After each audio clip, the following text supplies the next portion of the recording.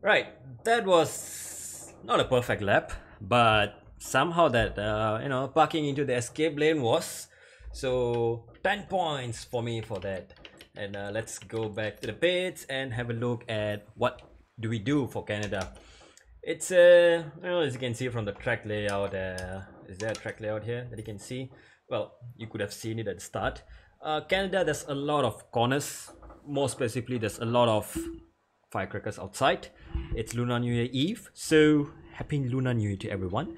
Yes, Canada, there are a lot of chicanes separating short and long straights. So you might think that you know straight line speed is needed, but uh, if anything more than anything, you'll be needing a lot of cornering speed around here, mainly to be able to brake and carry enough speed through these chicanes and carry a lot of speed out of the chicanes as well. And uh, some amount of straight line speed is needed so that you can overtake on the back straight. Uh, that is the longest straight before you know the chicane of death, uh, ch- uh, wall of champion chicane. That's the one. So your best opportunity to overtake is on the back straight. And if you do get the overtake done, you get a second dose of DRS, which will help you to defend on the pit straight. Or you can use the DRS on the back straight to close up to someone and make a move uh, after that wall of champion chicane. Then with DRS, better momentum out of the last corner, DRS, ERS, battery, whatever you have, dump it all into turn one, send it, and don't crash. So that's how you I guess overtake in uh, in Canada. So setup, let's take a look. So what I've done is, as always, uh, taken the world record setup, uh, played around with it, tried it out, and it was wee wee wee wibbly wobbly. A lot of rotation in the car. I know why is it fast. Um, and if I nail the perfect lap, I think I could gain uh, probably three more tenths from the lap time that I did over here. It's a lot of speed you can carry into these corners, but the car is super unstable. I can't handle it because you know skill issues. So here we go setup 29 on the front wing 24 on the rear wing. Uh, it's a pretty uh, medium downforce circuit. Uh, you will be needing a lot of straight line speed. This will give you that. The most important thing here around canada is the rear tire wear and rear grip as uh, there are a lot of uh, you know quick chicanes and uh, exit exit zones attraction zones more importantly you will be needing a bit but a lot of that rear grip that you need throughout the race. In qualifying, you know, you can always make do with uh, less downforce and whatnot. You'll be quicker. Uh, but in the race, you know, once tire kicks in, yeah, you have no choice. Strategy is a uh, open one around here. Always mediums, hard, hard mediums is the way to go as usual.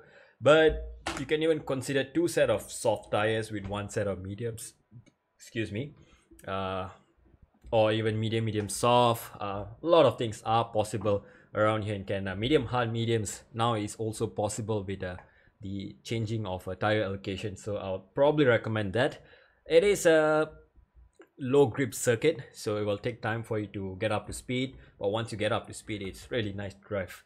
29 24 wings. In the pit stop you can reduce the wing to by one click. Uh, if you feel like you know throughout the stint the car is getting a little bit unstable it's always worth dropping the front wing by one in the pits. It also helps you to overtake a bit more easier in the race. Maybe 27 on your second pit stop. Uh, and yeah you can always figure that out. Transmission 60 on throttle uh, that's for qualifying because uh, as you can see uh, yeah it just works nicely. Uh, any lower than that when I tried 55 I'm getting a lot of uh, exit oversteer especially coming out of the uh, the fast chicane uh, before the hairpin you know the, the last uh, the sec last chicane? I don't know. Uh, I don't know what turn is that called. At the end of sector one, uh, you go to the chicane, yeah, under the bridge. So that thing before the hairpin. So that chicane, I get a lot of oversteer coming out of that corner. One solution is, of course, you can uh, raise the off throttle by 1%, make the car a little bit more stable on the rear uh, throughout the rest of the circuit as well, which I might try in my race sim later. Uh, otherwise, I'll leave it at 51 uh, on throttle I'll leave it at 60 maybe I can play around with it. Maybe instead of 55 I can go 56 or 57 will be just nice in, in between compromise. But 60 is just nice as well if you want to try it. Suspension geometry as always no changes. Uh, minimum camber that means right right and minimum toe left left on the toe. So it, it's pretty fast. It gives you more cornering speed. It gives you better exits as well better entry as well. So best of all worlds you have to run this. No questions. Suspension quite soft. Uh, I don't really like uh, stiff suspension these days, uh, especially uh, you know after all the patches they've been through. And I've been finding that soft suspension really works for my driving style. I like the front of the car to be very pointy, not Max Verstappen like pointy, you know, like to a point where he just can run circles around us. Uh, but pointy enough that you know when I turn the car initially into the corner, it turns in. There's no understeer and I don't like to you know like make multiple corrections while turning into a corner. So this helps me to get the car into the corner and it doesn't you know snap on me. So in mid middle of the corner I can just rotate the car use the brakes use the steering turn the car and then on the exit I can control it as well. That's how I like it. So this suits really well for me. One one on the rears as always. This is a tip for all tracks everywhere throughout this game keep the rears at one it is the best way to go gives you best traction and pretty much stabilizes the car uh, throughout throughout the whole lap as you need it. And front suspension the higher you go on this it will increase the understeer into a corner. So if your car is too pointy into a corner you feel uh, you can always increase this. And uh, anti-roll bar if you feel like the car is a little like you know turning too much mid corner there's too much rotation uh, which was the case with the world record setup I increased it from 3 to 4 just help me a little bit in the corners. So that's how I like it. Uh, if you feel this is still very oversteer in mid corner it just turns too much on the exit of a corners you feel like you know the car is not stable enough not planted enough try going up to 5 and 6 you know if it gets worse then just come down and uh, maybe just add one rear wing and your solution is found. Ride height uh, I didn't really change much again 6 on the front just nice around here uh, doesn't induce too much understeer. It if anything the car is still very pointy. I could go up to 7 increase my straight line speed a bit but i don't want that. I want to be quick in the corners. So 6 is just nice for me. 4 on the rear ride height also just nice. I tried 5 eh, not much of a difference. Uh, 4 is just uh, a bit more smoother on on traction. Is if you if you have a smooth foot 4 will do well. If you have a rough foot probably you want to lay down the power more aggressively 5 may be the way to go. And it's also giving you a bit more clearance on the curbs around here if you're going to be quite aggressive with that. Brakes 151 51 brake bias because around here I want to protect my rear tires. In Canada the rear tires do go off uh, much quicker than the fronts. Um, and you lose a lot of traction around here once your rears go off. So 51 right off the bat uh, to save the car the rear tire from the set in the setup itself in the race you can go up to 52 53 54 55 even if you feel like the race like very very oversteering in the pits drop your wing so that you know it helps your red tires again. Tire pressures. Uh, now this is one trick that you can use to increase the tire life on the red tires. Normally i like to run two clicks uh, around any track uh, but especially for canada i'm running three clicks here just because that extra click of pressure helps to preserve the tires just a little bit more. Not too much just a bit more. No issues with tire temperatures around here from what i tested early on.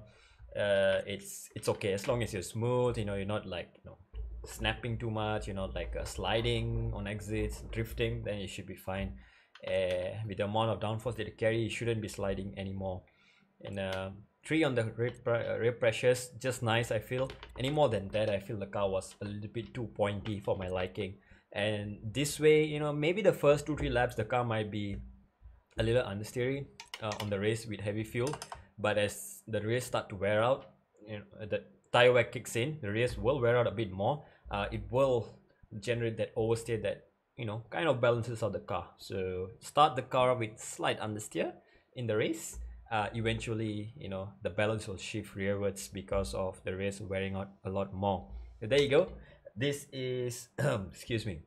This is the summary of it. 28 well 29 29 24 wings.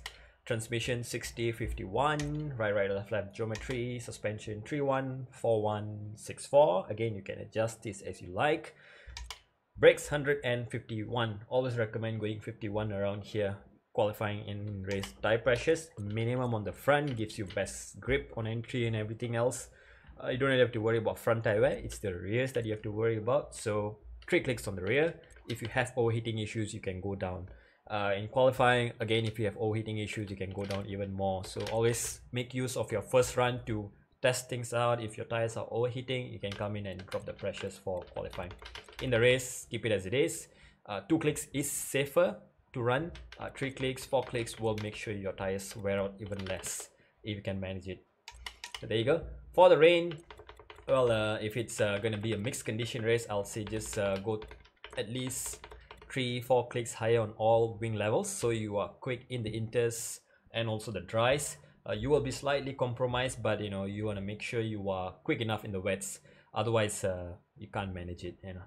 Um, if it's full inters of course go for higher downforce. Just raise them in equal amounts so you know if you raise the rear by five raise the front by five as well. Maybe one click extra for the front because it's a bit more understeery uh, in the rain.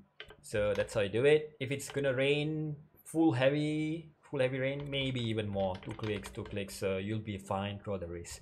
Uh, that's about it. And uh, yeah transmission for the race. In the rain yeah maybe you can put it down to 50 and uh, on throttle you can always reduce it to 55 just to give you a bit more turn in uh, on power yeah there's nothing much you can adjust. If it's going to be a mixed condition race i'll definitely recommend raising the ride height one inch uh, just to make sure there has enough ground clearance for your car. You don't aquaplane uh, in the wets. If it's going to be full ride keep it as it is. Uh, full wets maybe you can even go you know ex an extra click on the rear uh, maybe to 6 otherwise leave it as it is on default. Tire pressures in the wets uh, if it's going to be full wet race uh, or full inters race gonna ra be raining all the way it's definitely worth raising the pressures by at least one click each so that you get better tire life. Uh, your tires wear out less and also they they stay warmer for a lot longer. Uh, provided you know uh, it's gonna be a ra rainy race throughout the race. If it's gonna dry up I'll then uh, then keep it as default because once the rain stops your tires are going to overheat and you will be losing a lot of time on track. So yeah that's some tip for you. Have fun out there in canada. Uh, stay away from the wall of champions uh, otherwise uh, well you won't be a champion of the race. Right take care everyone. Stay safe and i will see you in the next video which is actually gonna be you know three more videos uh four more videos regarding that overall setup thingy how to set up your car so that as well will be somewhere in the description or at the end screen. Have a look at that. I finally took my time out to you know explain every single page how it works. A lot of you know babbling blah blah and uh, a lot of theoretical stuff. How does it work and how you should apply that in the game. And also applicable to some other games if you really want to try it out. Take care everyone. Stay safe. Bye bye